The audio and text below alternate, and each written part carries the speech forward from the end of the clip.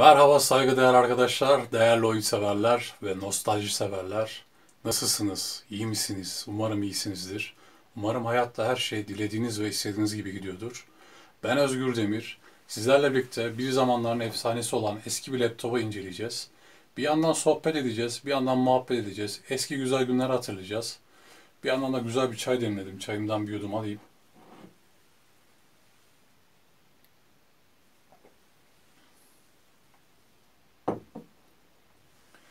Öncelikle laptopumuzu incelemeden önce şunu söylemek istiyorum. Yıllar öncesinden bu tarz incelemeler yapmıştım. PlayStation, PS1, e, Atari 2600, Xbox 360 Elite, Nokia 6600, e, 8910. 8910'u da Kurtlar Vadisi dizisinde Süleyman Çakır kullanmıştı. Polat Alemdar'ın kullandığı telefon da 6310 iyiydi ve birçok inceleme yapmıştım. Ee, YouTube kanalımda bu videoları bulabilirsiniz. Bu incelemeler e, çok olumlu yorum aldı. Yani bu da benim çok hoşuma gitti. Herkes çok olumlu yorumlar yapmış. Yani herkes anılarını, hatıralarını paylaşmışlar. Ee, herkesin de hoşuna gitmiş. Gerçekten beğenilmiş bu videolar. Bu da beni çok mutlu etti. Çünkü bir emek harcadım o zamanlar. Yani e, bir 5 yıl öncesindeki video bunlar. YouTube kanalımda bulabilirsiniz bu videoları. Ee, bu arada YouTube kanalıma abone olduğunuz için ve videoları beğendiğiniz için çok ama çok teşekkür ederim. Ee, bir diğer teşekkür etmek istediğim kişi daha var. Ee, o da benim çocukluk arkadaşım. Kendisi çok saygıdeğer bir insan. Murat Eryiğit. Kendisine çok ama çok teşekkür ederim. Bu laptopu bana hediye etti. Ee, benim de bu tarz incelemeler yaptığımı biliyordu sağ olsun. Buradan da ona sevgilerimi, saygılarımı gönderiyorum. Çok çok teşekkür ederim. Şimdi laptopumuzu incelemeye başlamadan önce e, laptopumuzun şöyle bir laptop çantasını çok kısa bir şekilde incelemek istiyorum. Çünkü şöyle bir göz atacak olursak e, gerçekten kaliteli bir malzeme kullanmışlar. Yani laptopun çantasında bile e, kalite farkı var. Yani bu laptopumuzun modeli Toshiba Sataline 1900'e 102. E, şöyle bir çantayı açayım. Biraz böyle şey gibi oluyor sanki hani e, kutu açılışı gibi oldu ama şöyle laptop çantası açılışı olsun bu da. Şurada Toshiba'nın logosunu görüyoruz. Gerçekten bunu metal yapmışlar. Kaliteli yani bir gerçekten böyle bir ben diyor kaliteli, sağlam, güçlü bir şeyim diyor yani. Şurayı bir inceleyeyim ilk önce. Şu kısmı. Şurada e, şöyle kart vizit yeri var. Biliyorsunuz ki çoğu laptoplarda bulunuyor. Şurada ayrıyetten bir yer daha var. Bir göz daha var şurada. Oraya da e, kabloları falan koyuyorsunuz. Kalemleri koyabiliyorsunuz. E, burada bir tane driver CD'si var. Şurada kart vizit. İşte eski laptoplarda bazılarında biraz sonra e, çantanın içerisinde göstereceğim. Eski kilitler bulunurdu. Şöyle göstereyim. Bu da anahtar. Bu kilidin anahtarlarından bir tanesi. Bendeki ama şey şifreli. Burayı böyle kapattıktan sonra artık e, size beklettim. Şöyle bir açılışını yapalım. Toshiba Sataline 1900'e 102 modeli bu. Gördüğünüz gibi e, yani laptopun ilk görünüşünde şurada zaten adaptör ve e, güç bağlantı kablosu var. Şurada kilit falan var. Onları göstereceğim. Şurada da bazı kablolar falan var işte. Ondan sonra birçok bağlantısı var. Şimdi laptopumuzu şöyle bir göstermek istiyorum. Yani cihaz gerçekten şöyle bir baktığınızda şimdi bana diyeceksiniz ki ya Özgür abi işte e, Özgür Bey neden böyle eski tarz şeyleri inceliyorsunuz veya böyle şeylere bakıyorsunuz bunlara daha çok böyle ön plana çıkartıyorsunuz diye. Ya şimdi ben bu eski işte cihazlar olsun işte bilgisayar, PlayStation, diğer elektronik cihazlar olsun hepsini yani şeye benzetiyorum. Böyle Cadillac gibi, Chevrolet gibi eski model arabalara benzetiyorum ki bunların gerçekten bir ruhu var, bir yaşanmışlığı var, bir anısı var. Bunda da öyle. Bir yaşanmışlığı, bir anısı, bir hatırası var. Yani kim bilir e, zamanda belki e, şu anda bu videoyu izleyen biri diyordur ki ya zamanında bu cihaz benim hayalimdi. Yani almak için ne kadar uğraşmışımdır. Çünkü bütün o eski tarz yaptığım ürün incelemelerinde de e, böyle yorumlar çok okudum. Herkesin zamanında hayali olan telefonmuş. Mesela 6600 işte Süleyman Çakır'ın kullandığı 8910 Polat Alemdar'ın kullandığı telefon veya PlayStation PS1 e, o da öyle.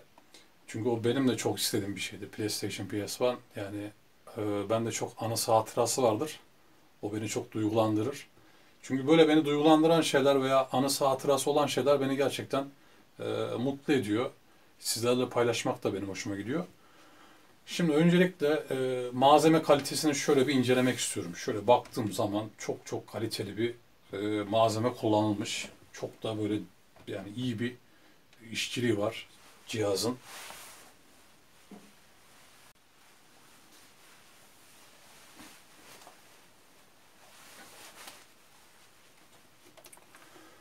Cihazımızdaki bahsetmek istediğim en önemli özelliklerden bir tanesi de buradaki ön panelde bulunan e, gördüğünüz gibi şu led ekran var ya yani şu kısım bunun şöyle bir özelliği var. CD oynatabilme. Hani DVD-ROM. O zamanlar gerçekten e, büyük bir teknolojiydi CD'den sonra. Burada disket yuvası var. Bir tane USB girişi var gördüğünüz gibi şöyle. Ve burada da e, DVD-ROM bölümü var. Bunu ayrıyetten e, laptopunuz kapalı olsa dahi buradan CD oynatabiliyordunuz. Burada ileri sarma, işte ileri sarma, geri sarma, durdurma, stop tuşları var. Gördüğünüz gibi Toshiba'nın kendi ön panelini şöyle bir inceleyelim. Siz de şöyle bakın. Şöyle birazcık yakınlaştırayım. Yani şuradaki e, aparat sayesinde, şu panel sayesinde cihaz kapalıyken müzik dinleyebiliyordunuz. Yani müzik CD'nize takıyordunuz. Şuradaki e, hoparlör çıkışları da ona göre tasarlanmış zaten. Şuradaki, şu kısımdaki. İşte daha rahat, kaliteli müzik verebilmek için tasarlanmış. Şimdi cihazın e, yan tarafını şöyle bir inceleyelim. Şöyle hatta arka tarafından başlayalım. Öncelikle şöyle net ise şöyle bir tamam şu şekilde iyi. Şurada e, gördüğünüz gibi PC2 mouse klavye portu var. Ondan sonra onun yanında da hemen şu, şu girişi göstereyim. Şurada 19 voltluk adaptör girişi var.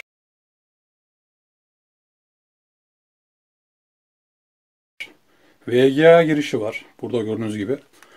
Burada da önemli bir nokta paralel port. Yani e, paralel port eski cihazlar için kullanılan bir ara birim.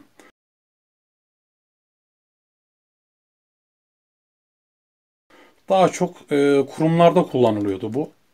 E, kurumlarda da hangi cihazlarda kullanıyordu?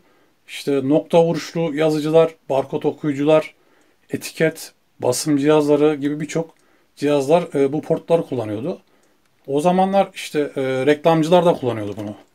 Casemate diye program vardı. Orada da kullanılıyordu. Şimdi şurada da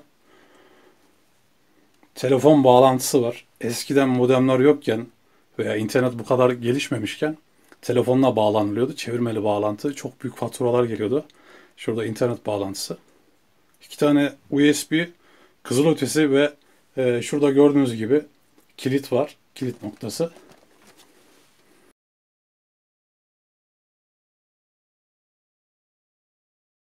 Orası şurayı göstereyim. İşte şu ızgaralarda hava e, nefes almasını sağlıyor cihazın. Yan tarafta e, genişleme yuvası var. PC kart yuvası, disket yuvası da e, öbür tarafta, yan tarafta. Onu da göstereyim. Şöyle bir klavyesinde inceleyecek olursak cihazı şöyle bir açayım size de göstereyim. Şöyle bir kilit mekanizması var. Şöyle bir açayım size. Siz de görün yakından. Satsaline 1900'e 102 gördüğünüz gibi.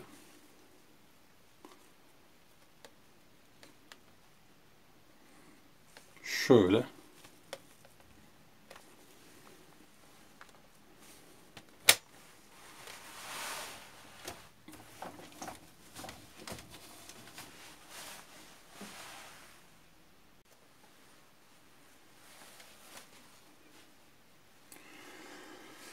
Gördüğünüz gibi SATA Line 1900'e 102 lider güç ve performans Intel Pentium 4 e, yani şu logo gerçekten çok değerliydi zamanında. Yani e, bir bilgisayarınız varsa Intel Ya Pentium 4 dediğiniz zaman gerçekten e, gurur duyardınız cihazınızla. Ve Windows XP'nin logosunu görüyoruz burada. Touchpad burada çok büyük değil ama gerçekten işinizi görecek şekilde tasarlanmış. Yani Toshiba'nın gerçekten bütün laptopları çok kaliteli. E, burada diyor ki, şöyle birazcık daha yakınlaştırayım. Heyecan verici mobil eğlence platformu, CD Writer, DVD-ROM sürücü, 16 MB DDR VRAM, hızlı ve basit CD, DVD, MP3 kullanım için kolay kullanımlı tuşları diyor. Ee, gelişmiş entegre iletişim özellikleri. Ee, işte burada bütün özelliklerinden bahsediyor. Windows XP Home Edition.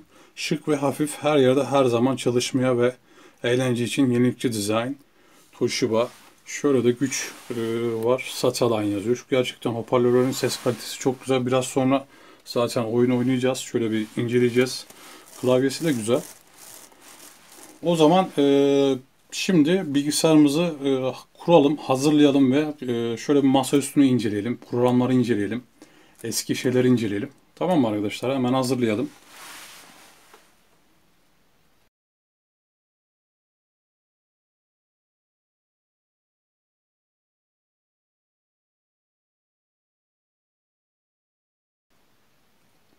Toshiba laptopumuzun bir de alt tarafını inceleyelim. Şöyle gördüğünüz gibi e, bir fan e, bölmesi var şurada. Cihazımızın e, içerisine böyle bir içerisindeki sıcaklığı dışarıya atabilmesi için tasarlanmış bir bölme. Ve dışarıdan da böyle toz falan gelmemesi için şöyle bir mazgal var ince ince küçük. Şurada laptopumuzun adaptör, adaptör bölümü yer alıyor. Şurada da gördüğünüz gibi Toshiba S1900'e 102 modeli PS190E Chip 0 K48TR 19 voltluk bir e, adaptörle çalışıyor. Amperi de 4.74 amper. Toshiba Europa e, Europa garantisiyle ilgili bir şey var. Gördüğünüz gibi şöyle şu PlayStation'da da vardı şu Class 1 lazer var ya. Şurada da Windows'la ilgili e, ürün anahtarının şeyi var. Şunu göstereyim. Şuradan eğer açabilirsem şöyle yapayım. Bunlar baya kilit sistemi çok gelişmişti o zaman. Şuradan şöyle bir kolaylıkla açayım da size de göstermiş olayım. Şunu şöyle çıkartayım. Size de şuradan göstereyim arkadaşlar. Laptop'un adaptörü bu. Gör, görmüş olduğunuz gibi bayağı büyük bir adaptör. Tabii ki şöyle hem de ağır. Laptop da gerçekten ağır ama çok sağlam bir cihaz. Yani hani şimdiki cihazlara göre gerçekten kullanım ömrü uzun ama kaliteli yapmışlar. Şimdi cihazımızı tamamen inceledik. Sağını, solunu, üstünü, bütün işte arka panelini, yan tarafını göstereyim şöyle tekrardan görmeyen varsa. Ee, şöyle de şu tarafa. Ha burada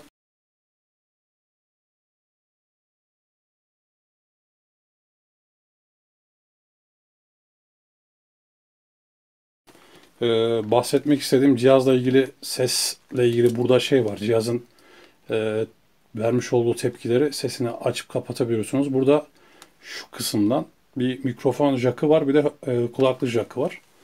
Ön tarafı da bu şekilde. Şöyle de göstereyim. Şimdi laptopumuzu açalım arkadaşlar.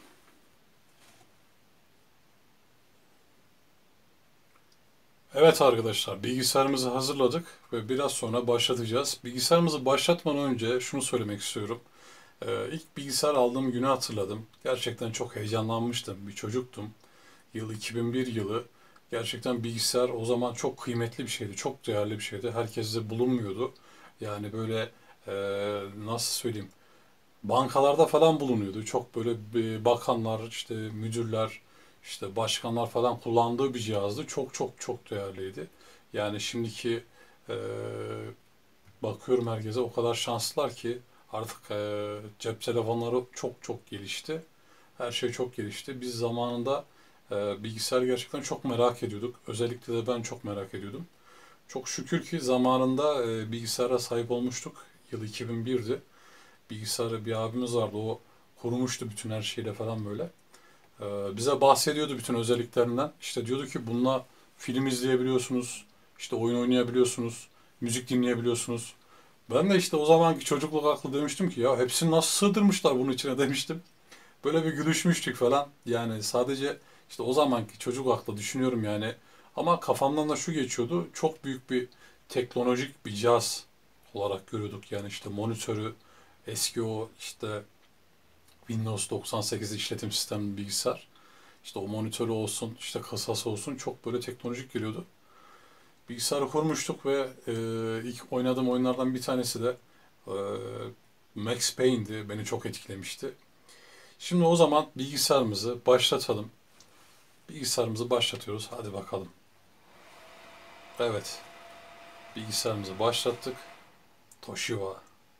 Vay be.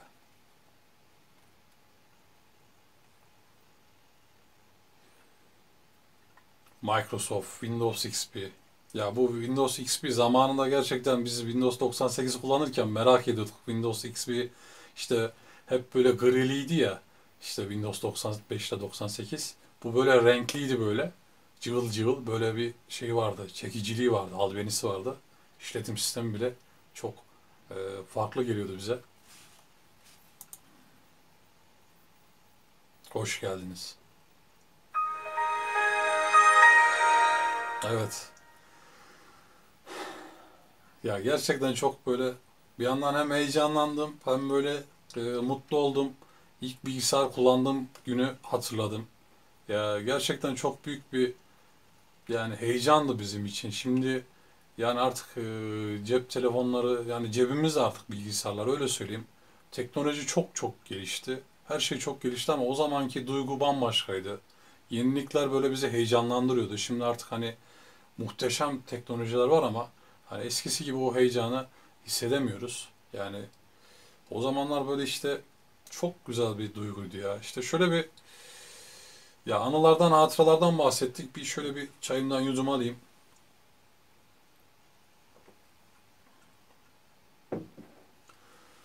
Şimdi şurada göstermek istediğim benim bir şeyler var. Ee, yani bilgisayarın genel anlamda şöyle bir baktığımız zaman dizaynına, işte görüntüsüne, ekranına, yapısına. Bu arada biraz e, şundan bahsedeyim. Cihaz biraz ağır bir cihaz. E, 3,5 kilogram ağırlığında. O yüzden biraz önceki çekim yaparken laptopu e, yukarıda tutmam gerekiyordu ki kameraya yakın olsun diye. Burada da gördüğünüz gibi e, işte cihazın ön paneli, yan tarafı şöyle bir inceleyelim.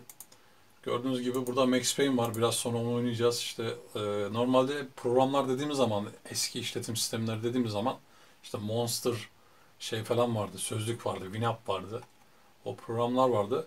E, bilgisayarın e, tekrardan bahsedeyim. Yani Intel Pentium 4, Pentium 4 daha önce söylemiştim ama tekrardan bunu söyleyeyim. Bu çok çok önemli bir şey.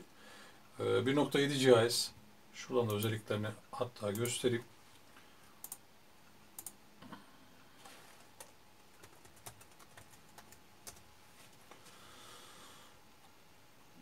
256 e, megabayt RAM'i var. Yani şimdi diyorsunuz ki abi işte yani şimdi 16 GB, 32 GB RAM'imiz var.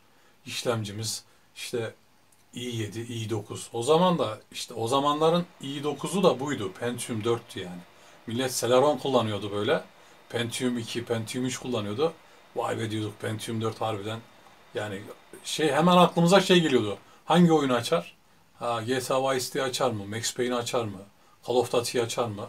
Pentium 4 açar açar diyorduk böyle aramızda sohbet muhabbet oluyordu. Zaten yani ilk e, aklımızdan geçen şey bilgisayarda genellikle oyun oluyordu ama benim şöyle bir düşüncem vardı o zaman.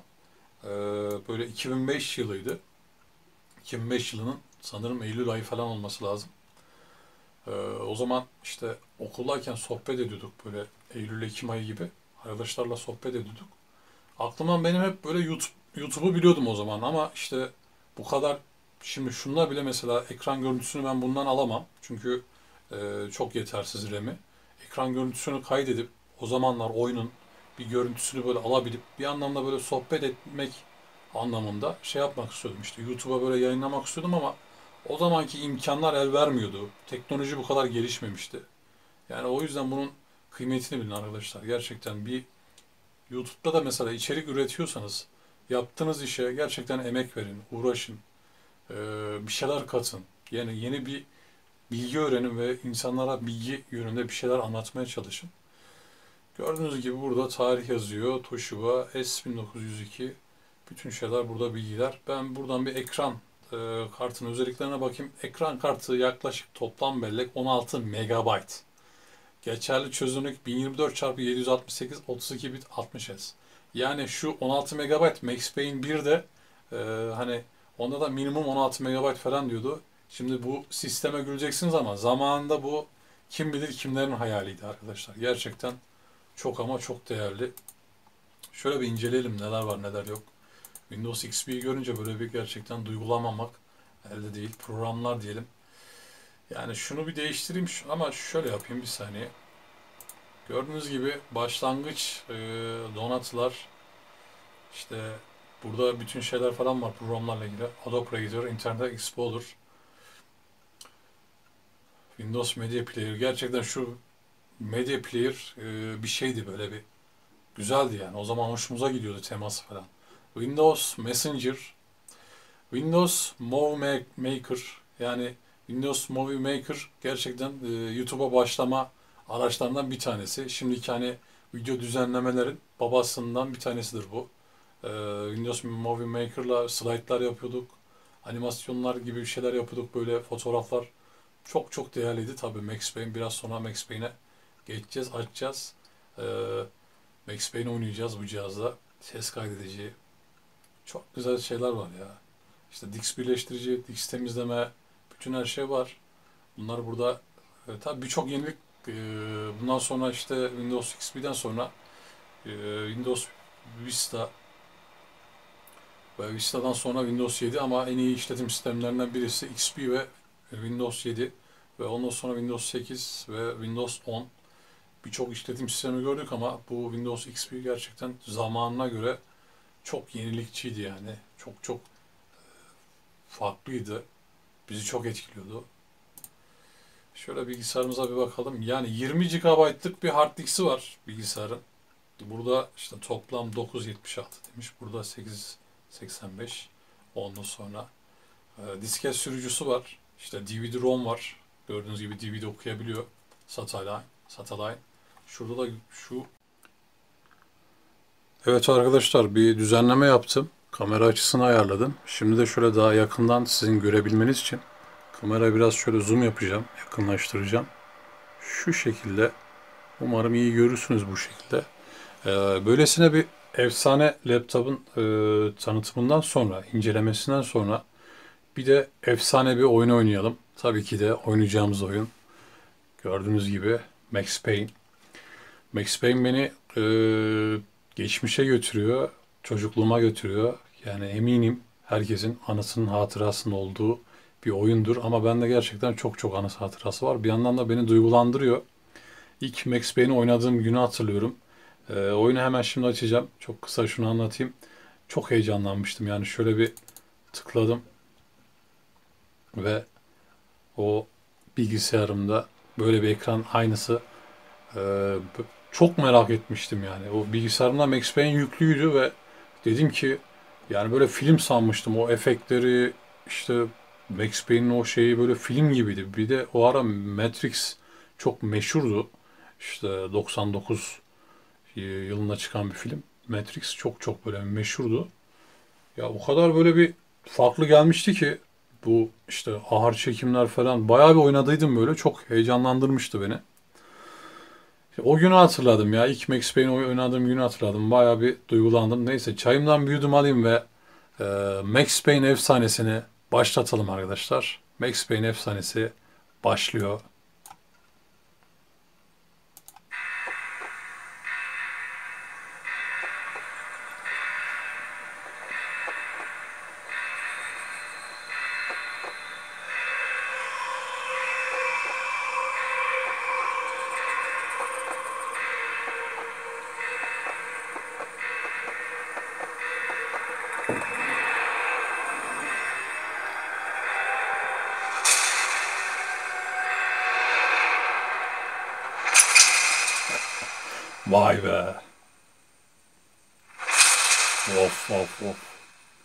Adamlar yapmış ya.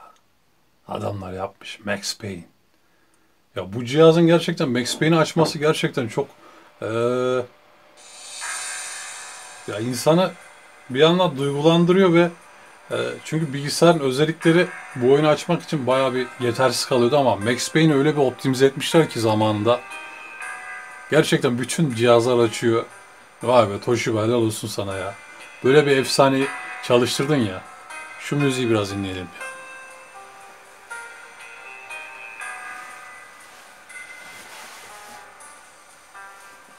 Bir şey dinleyeceğim. Şöyle bu ışıkla ilgili. Evet şöyle bir oynayalım da daha böyle bir görüntüyü net alalım. Şu alıştırma bölümünü bir oynayayım ya. Özlemişim ya. Tabi bu arada bilgisayar hemen soğutmaya geçti. Soğutma sistemine hemen fanın sesi geliyordur duyuyorsunuz. Toshiba Satellite 1902. Evet vay be karlı bölüm. Karlı başlayan oyunlar her zaman güzeldir ve çok güzel bir şekilde de açtı Max Payne'i. Görüyorsunuz grafikleri. Evet baya şu anda Oo bayağı akıcı. Evet çok güzel. Bir şey fark ettim. Şunu bir Matrix'te de telefonlara bakıyorduk ya.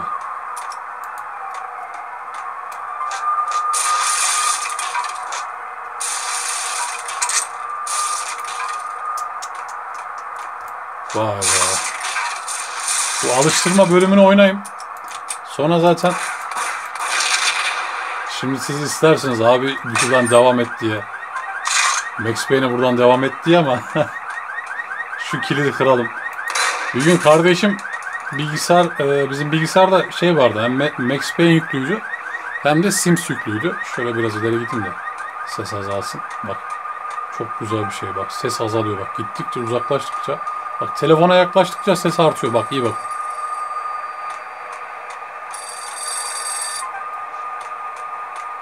Muhteşem bir şey. Baya akıcı oynatıyor gerçekten. Böyle bir şey var.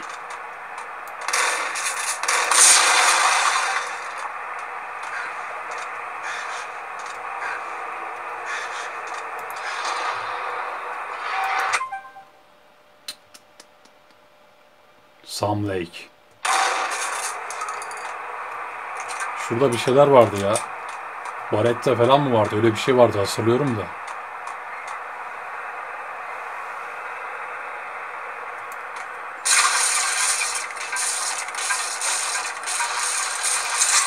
Tamam şimdi şuradan hızlı bir şekilde biraz hızlı hızlı gidelim. Vay be. Yıllar öncesine gittim. Çok güzel zamanlardı yani.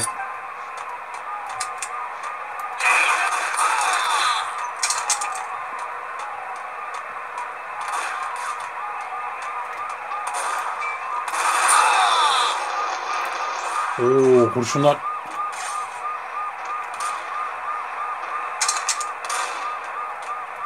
Gel bakayım.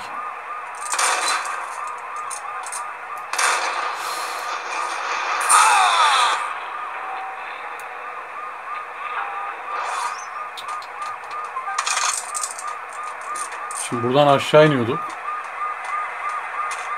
Yok çok aşırı olmasa da böyle bir bak bu e, yerlerde bir şey yapıyor. Akıcı oynatıyor.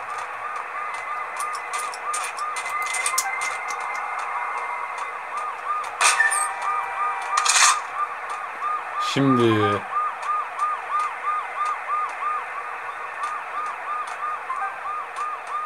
Şurada bir şey yapıyorduk ya. Bak bunlar çok güzel şeyler. Max Payne'de bazen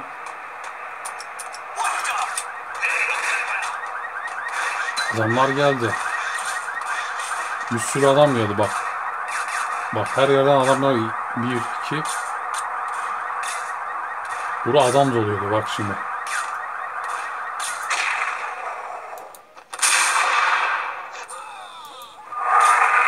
Şu o zamana göre çok büyük bir teknoloji bak.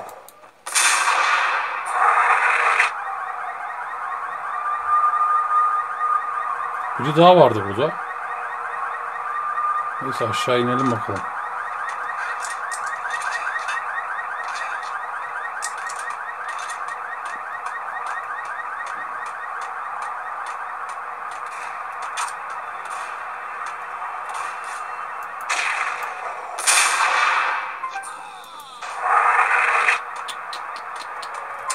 Şimdi burada bir sürü adam gelecek.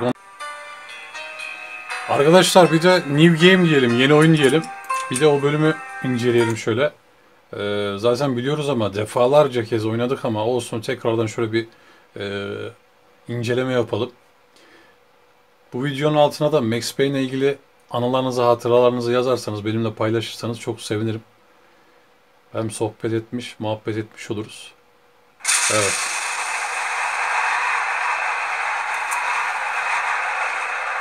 Film gibi oyun ya. Stand by. 1010. Investigated reported disturbance at Acer Plaza. 10 foot dispatcher. Verify address. It's Acer Plaza. Repeat. Acer Plaza.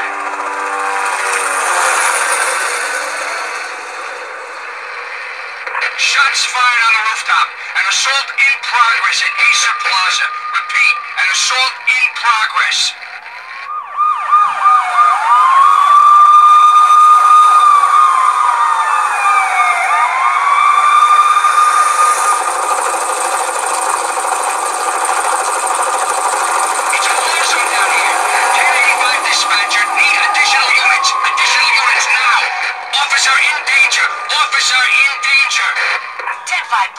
10-5.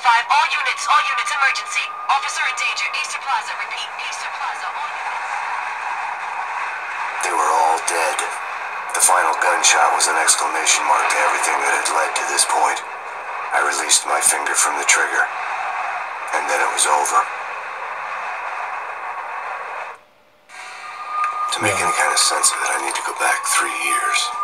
Back to the night the pain started. Buraları önceki videomdan biliyorsunuzdur arkadaşlar. Ee, Türkçe yamalıydı. Ee, onu bu oyunu öyle bitirmiştim. Oradan da izleyebilirsiniz. Baştan sona Max Payne'i bitirmiştim. Şöyle bir evimize girelim.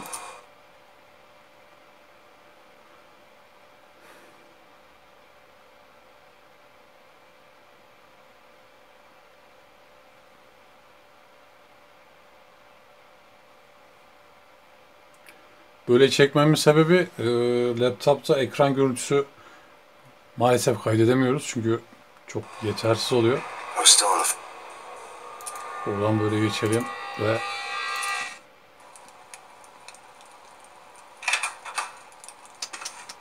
Michelle, honey, anybody home?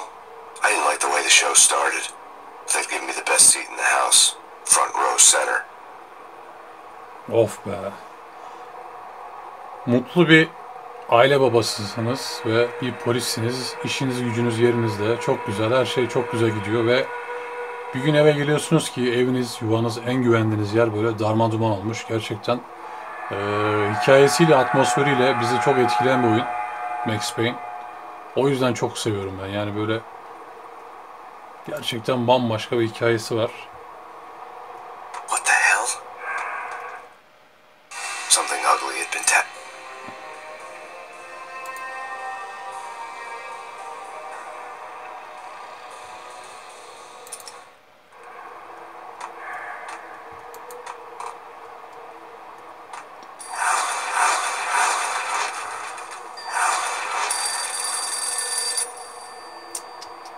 Hemen emaneti çekti.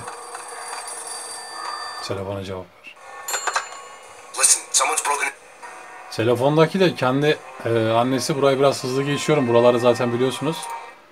Daha önce defalarca kez oynadım Max Payne'i. Şuradan pompalıyı alayım. Şimdi şunların icabına bir bakalım. Yukarıdakileri.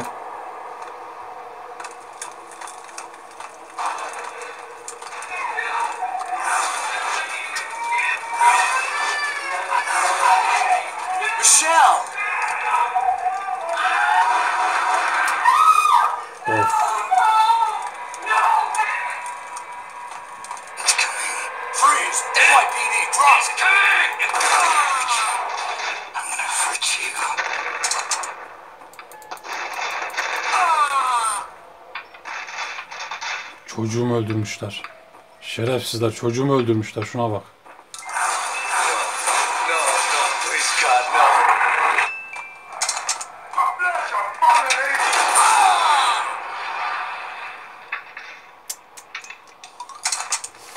Karımı da öldürmüşler. Of be. Bu beni her zaman etkilemiştir bu sahne.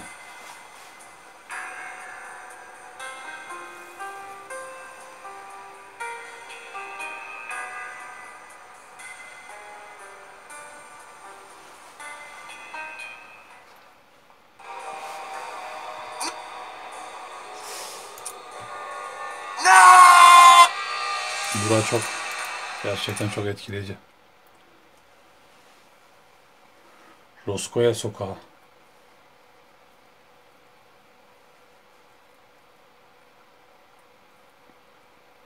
Ya gerçekten bilgisayarın yani maşallah diyeyim e, Max Payne'i açması güzel bir nostalji oldu.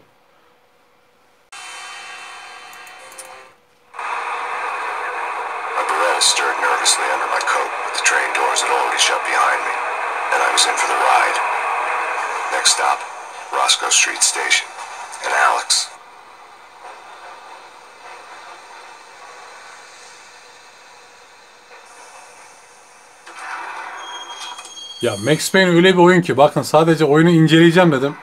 Yani böyle bir başlıyorsunuz sonra Max Payne'i bitiriyorsunuz.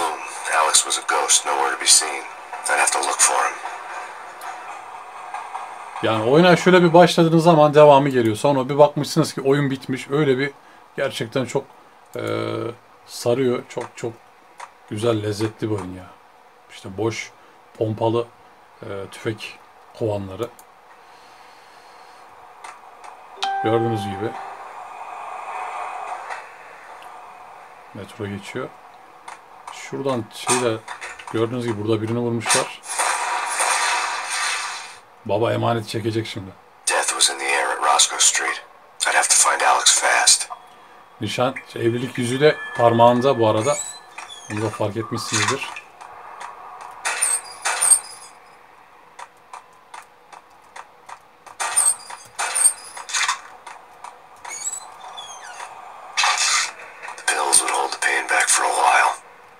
Her yerde o izlerden var. Neyse şuradan devam edelim. Wasn't Jake supposed to take care of this? He and Mickey are in Hey, uh, Saati görüyorsunuz bak.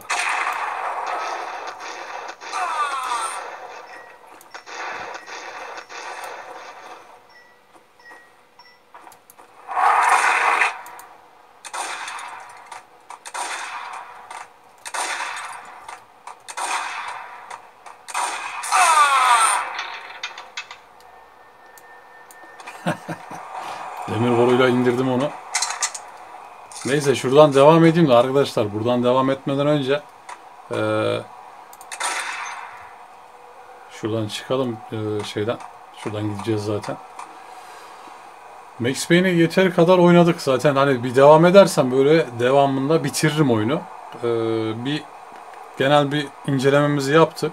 Eee, bunun devamında şöyle bir bir şeyler daha söyleyeceğim ve videonun sonuna geleceğiz. On today's top story, the Valkyr crisis worsens with the murder of DEA Special Agent Alex Balder. Special Agent Balder had been shot repeatedly from a point blank range. A suspect was seen leaving the site only moments after the shots had been fired, and the NYPD is currently in pursuit of Max Payne, a repeated felon believed to be armed and extremely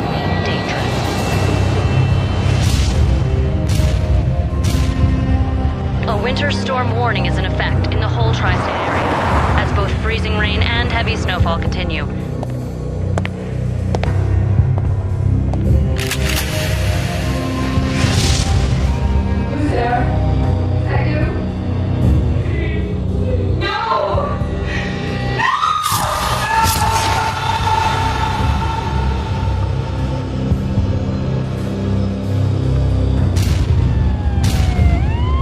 Max Payne, this is Deputy Chief Jim Bravura from the NYPD. Drop your weapons and come out with your hands above your head. This must be kept under wraps. If you try to go public with this, we will deny any knowledge.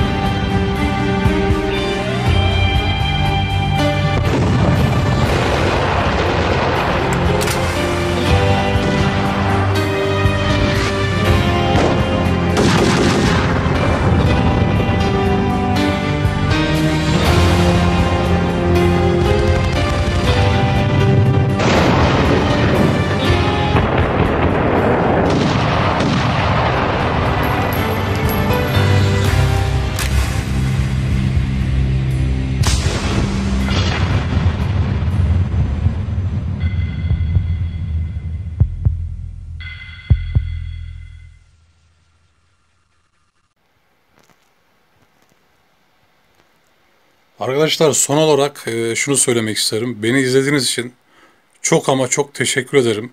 E, Toshiba SATA Line 1902 laptopu inceledik. Nostalji e, yaptık. Böyle eski günlere gittik, sohbet, muhabbet ettik. Ve Max Payne 1'i oynadık. Max Payne 1 efsanesini oynadık. Onunla da böyle güzel bir nostalji, nostalji yaşadık. Laptopta şöyle açacak mı açmayacak mı diye. Ama güzel bir şekilde açtı. Şu anda da oynatmaya devam ediyor. Max Payne'i en azından Max Payne oynadık ve nostalji yaşadık. Ee, Ben Özgür Demir. Yani bu video için biraz uğraştım, emek harcadım. Ee, Eğer kanalıma abone olursanız, bu videoyu beğenirseniz çok ama çok teşekkür ederim. Ee, Bir sonraki bölümde, bir sonraki videoda görüşmek dileğimle. Her şey için çok ama çok teşekkür ederim. Arkadaşlar kendinize iyi bakın. Hoşça kalın.